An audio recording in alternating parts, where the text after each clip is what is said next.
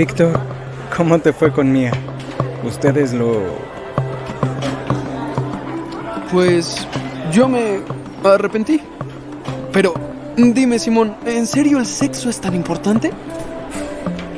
Porque lo demás en nuestra relación es más que perfecto.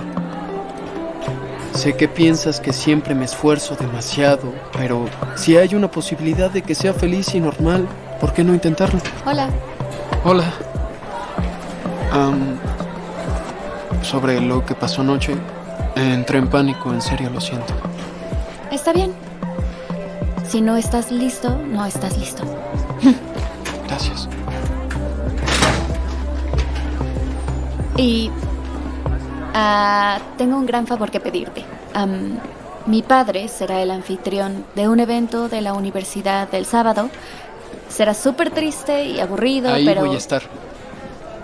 Ok, empieza a las 5, pero las primeras horas serán de gente vieja comiendo bocadillos y donando dinero. Oye, que- ¿es en serio?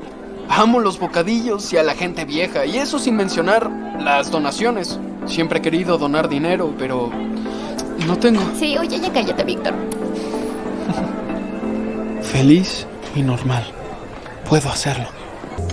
Víctor, qué bueno que llegaste. Es el apocalipsis. La máquina de espresso no sirve. Sara está siendo dramática. No estoy siendo dramática, Benji. ¿Eso piensas de mí, que soy una dramática? Víctor, atiende la cafetería. Benji, tú y yo iremos a que la reparen a Huilacuchi.